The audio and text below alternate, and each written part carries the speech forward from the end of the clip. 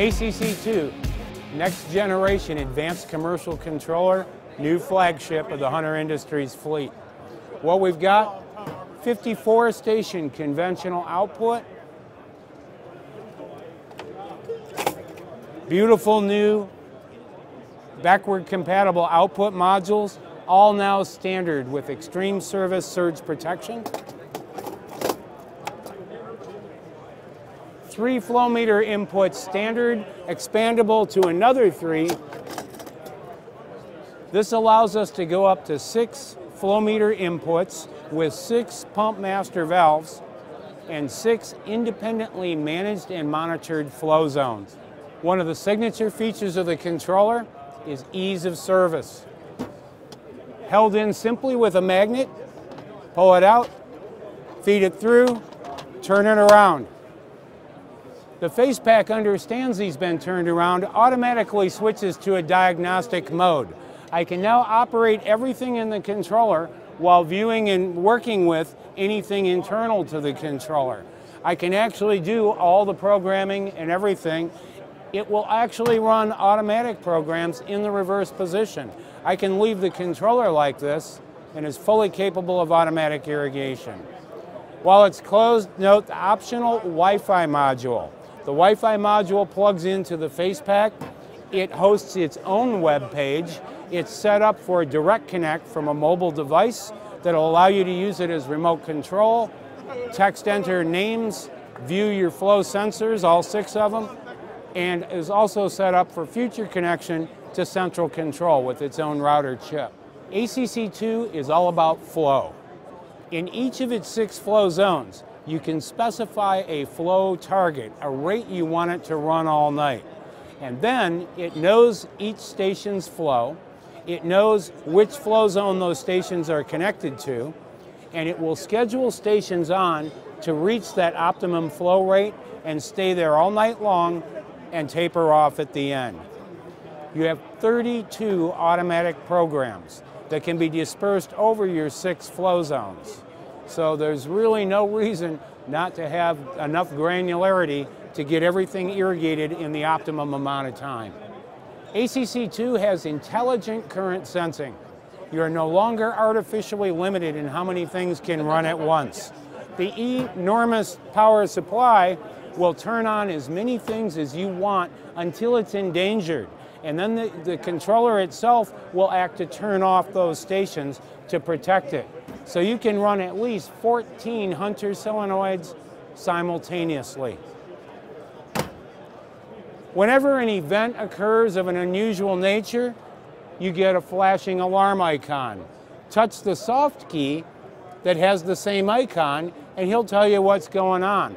In this case, it's simply letting me know there had been a power failure and power is now restored. The messages never interfere with automatic irrigation. When you're done with them, clear the message, it's gone. It's not really gone, it's stored in our log files where you can look at the last 250 alarm events whenever you wish, in the order in which they occurred. Here's another cool thing about power outages. The computer reboots after the outage it's now replaying the events it should have been running in its head. It knows where it should be in real time. It will resume irrigating now where it ought to be at this time of day and finish at the end time that it was scheduled for. So you will miss the smallest amount of irrigation possible after a momentary power outage. It will not just wait for the next start time it will resume and recover as much irrigation as it possibly can. ACC2 was designed from the get-go to be an internationally friendly controller. It is language selectable on the fly to any of 12 languages. In the settings, regional settings, we can switch through a variety of languages which will switch everything in the controller to the selected language units of measurement, and even daylight saving change. Not everyone changes on the same dates and patterns. This is programmable as well. The interface is unique The interface combines elements of our Luxor controller with elements of our Pilot Golf controller, which also resemble an ATM machine.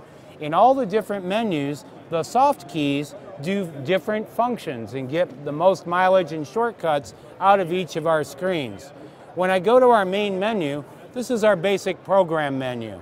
When I punch in, I go to start times. I can now set up, I can name set up automatic or manual only program, and put in the start time for the program.